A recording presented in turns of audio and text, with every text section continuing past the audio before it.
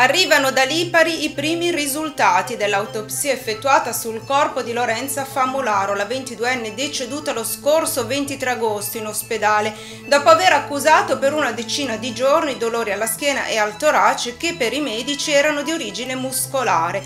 Era il 14 agosto scorso quando la ragazza si è recata per la prima volta al pronto soccorso e alla guardia medica per una serie di fitte, prima al collo e poi all'addome. Sono seguite altre tre visite durante le quali nessuno però è stato in grado di dare la diagnosi corretta. Qualcuno aveva parlato di cervicale, altri di una contrattura muscolare, ha raccontato il compagno di Lorenza, Antonio Marino, imprenditore trentenne.